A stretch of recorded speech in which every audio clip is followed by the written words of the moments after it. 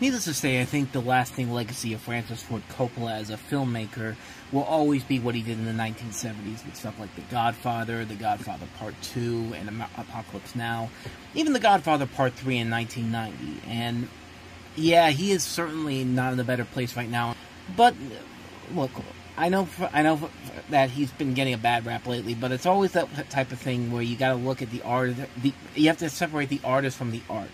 And yeah, Francis Ford Coppola right now, complete scumbag. But back in the day, I mean, he was he was one of those great directors who just gave you hit after hit after hit. I mean, The Conversation, The Godfather movies, Apocalypse Now. The 1970s, he had it all. And then there's the 1980s, which is a very interesting time period. I mean, he made a lot of really good movies. There was a lot of movies that weren't that great, but most of them were really most of them were films that did not perform well and have been kind of overlooked and have been seen mostly as cult films. And um, it's a shame because most of these movies that are, are, part of this are actually some really good movies that definitely deserve a lot more attention. So for this particular episode, I want to cover the fans, the Francis Ford Coppola movies in the 1980s, the movies that you probably don't think about as much, but you should definitely check some of these out because they are actually really, really good movies. And I think not, no better way to start off with that than to look at the first movie that Coppola did after Apocalypse Now, which was the highly ambitious 1982 fantasy film One from the Heart.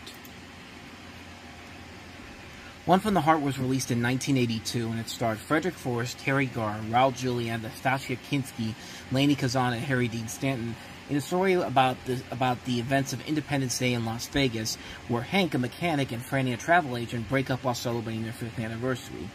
He's been insensitive to her yearning and for adventure and excitement as they both spend a night with their idealized partners.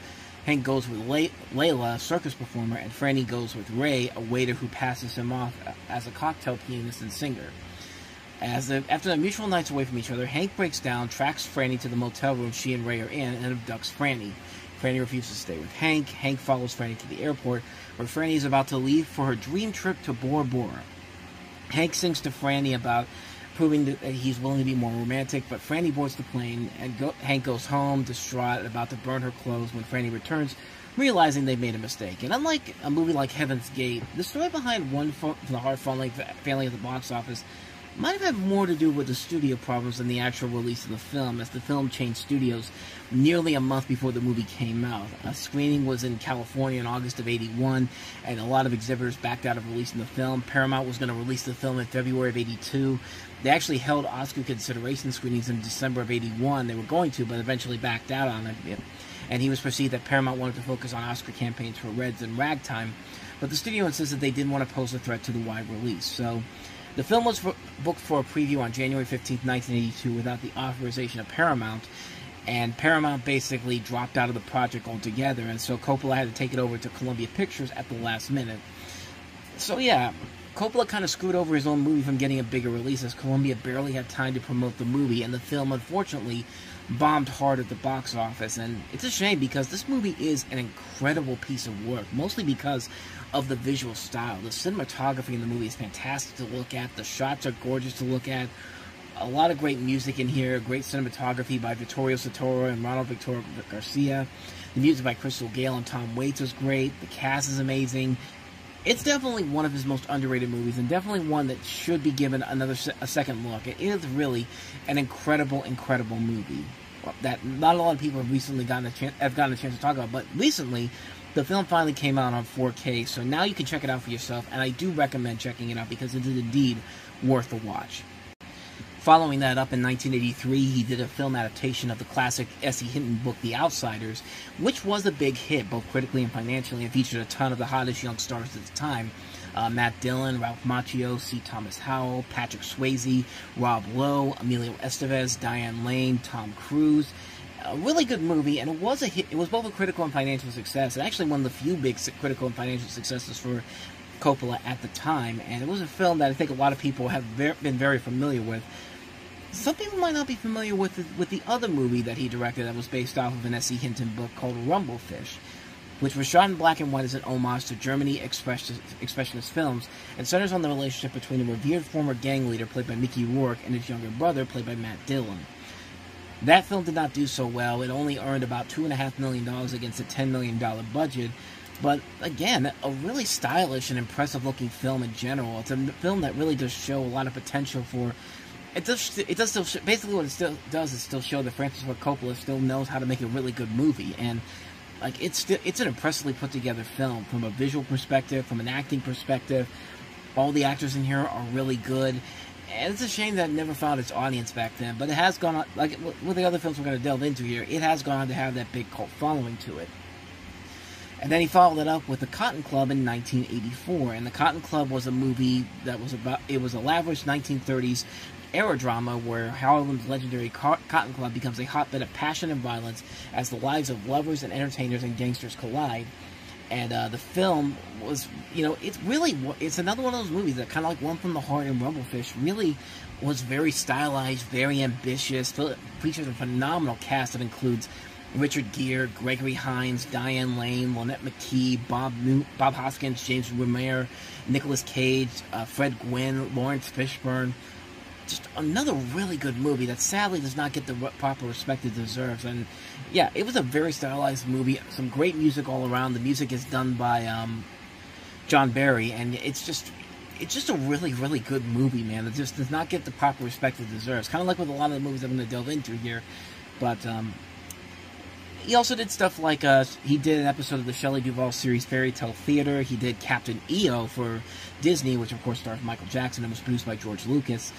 1986 uh, saw probably his most successful movie of the decade when Peggy Sue Got Married, which is it came out a year after Back to the Future and centers around a, uh, a woman named Peggy Sue, played by Kathleen Turner, who attends her 25th year high school reunion, is about to divorce her, divorce her husband, played by Nicolas Cage, and she finds herself transported back to her days in high school in 1960. And it was a very well received movie. The film did very well at the box office and actually got several Oscar nominations, including at Best Actress one for Kathleen Turner.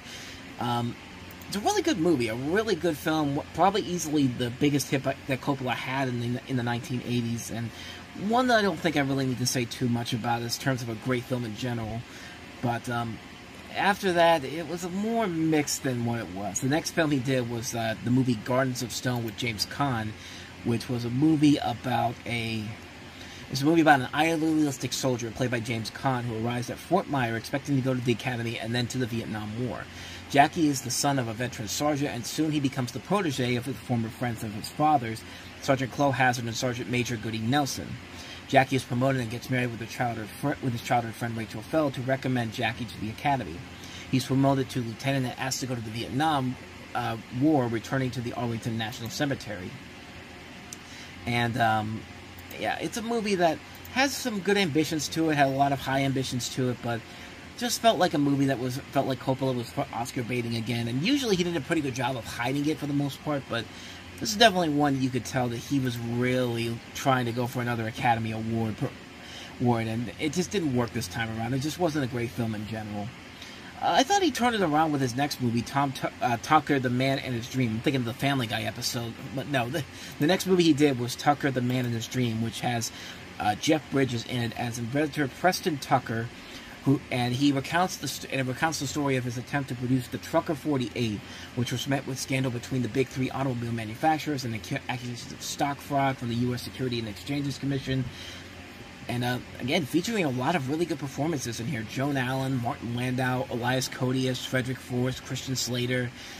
Um, really good movie, a really damn good film overall, and just shows how much Jeff Bridges has matured as an actor in the in that decade. And just it also helps that you have George Lucas as one of the producers as well.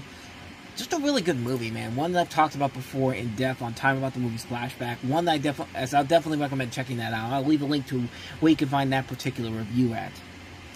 And then the last movie he did in the 1980s wasn't even really a movie, but it was a piece of an anthology film called New York Stories, which also featured uh, segments directed by Woody Allen and Martin Scorsese, and the one that Coppola directed was called Life with Zoe, where you have Zoe as a 12 year old schoolgirl who lives in a luxury hotel. She hopes she helps return to, to an Arab princess a valuable piece of jewelry that the princess had given to Zoe's father and had been subsequently stolen and recovered. Zoe tries to reconcile with, his with her divorced mother, a photographer, a fa and father, a flautist. Not every segment in New York Stories worked in particular, and I think if I if I remember right with this one, I think I did say that it was either Woody Allen or Mar or Francis Ford Coppola's I thought was the best one. I think. Let me double check just to make sure here. Um, yeah, if I remember, it's like no, I think I said Mar I think I did say Martin. I take that back on both of them. Martin Scorsese's Life Lessons was the one I think was the best overall. Not to say that it, all of them were bad or anything in general. Just the first one by Martin Scorsese is easily the best of the bunch, and the other ones are just okay, but they don't really add a whole lot to it. And I'll give them no effort for trying to do something with it, but it just, it just unfortunately didn't work out. And it kind of ended the decade for Coppola on kind of a low note, especially considering the next year he would have to uh, put uh, put his American Zoetrope company into bankruptcy. But he did have a couple of hits to start the decade off in the 19 in the 1990s. The Godfather Part 3, while not as successful as Godfather 1 and 2, was still a successful movie critically and commercially. And yeah, it's definitely the weakest of the three Godfather movies, but it's still a really good Godfather movie. And even had a good one with uh, Bram Stoker's Dracula in 1992, which is a really good, is a really fun, fun, good, decent adaptation of Dracula. And that led him to produce Mary Shelley's Frankenstein, which I think is criminally underrated, directed by Kenneth Branagh. And then that's where kind of the downfall started to begin. The, and then you, it was with Jack really being the movie that kind of ruined all the goodwill that Coppola had. It was it, that felt like a movie that Coppola was forced to make, and just like just the whole idea alone of Robin Williams playing a kid, playing a kid inside who's maturing, on the outside is maturing. What was it? Four times faster than he he actually is. Just like a very confusing plot indeed, and just the movie just falls apart almost immediately. The Rainmaker was kind of a mixed bag overall. Youth Without Youth was not that was not as good. Neither was Tetro or Twixt. Megalopolis, I think, can go one of two ways. Honestly, I'm not. Too, I mean, I'm cautiously optimistic, but at the same time, this is a movie he's been wanting to make for years. It's a passion project, and most passion projects don't usually end up as well as I think they do, they expect them to.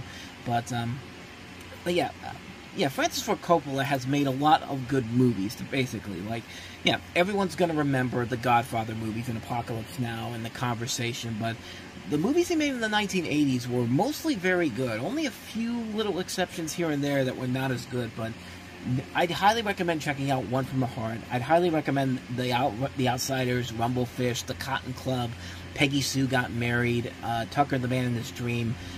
I definitely give those ones a watch, and you could see that Coppola did have a very good decade in the 1980s in terms of the movies he made just not in the money that he made after that. I mean, none of them were big hits in general, except for Peggy Sue Got Married and The Outsiders. But other than that, though, none of them were big hit, hits critically. None of them were big hits financially, but they were films that definitely deserve a lot of attention. I am glad to see that some of them are getting cult followings nowadays, especially One from the Heart and The Cotton Club. These are definitely movies you should definitely check out. So definitely give those ones a watch. Uh, if you want to see what I had to say last week about Kevin Costner's big gambles in Hollywood. I'll leave a link to that video in the corner, and you can also check out some of the other episodes I've done here. And uh, thank you so much for watching, and I'll see you guys next time.